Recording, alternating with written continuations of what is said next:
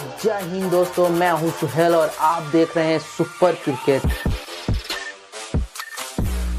तो दोस्तों आईपीएल 2023 में चेन्नई सुपर किंग ने अपना पहला मुकाबला जीत दर्ज कर ली है जहाँ दोस्तों, बता दें कि लखनऊ सुपर जाइंट के खिलाफ एक रोमांचक मुकाबले में लखनऊ सुपर जाइंट को चेन्नई सुपर किंग ने हरा दिया है, लेकिन इसके बाद दो बेहद ही बड़ी खबर निकल के आ रही है। जो सबसे पहला खबर है, वह जुड़ा हुआ है कप्तान एम एस धोनी से।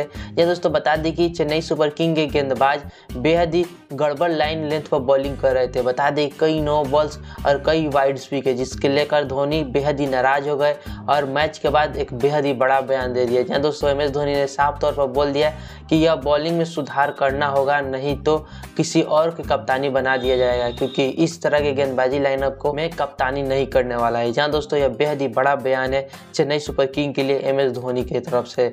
वहीं दूसरी बड़ी खबर का बात करें तो दोस्तों, यह जुड़ा हुआ है ऋतुराज गायकवाड़ से।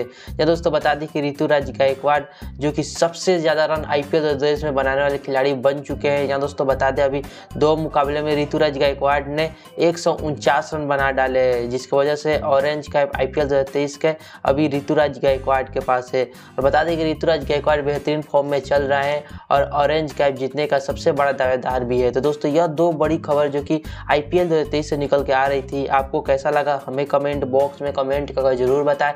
वहीं दोस्तों, यह खबर आपको अच्छा लगा तो अपने दोस्तों के पास शेयर ज़रूर करें। तब तक ले मिलते हैं हम आपको अगले वीडियो में।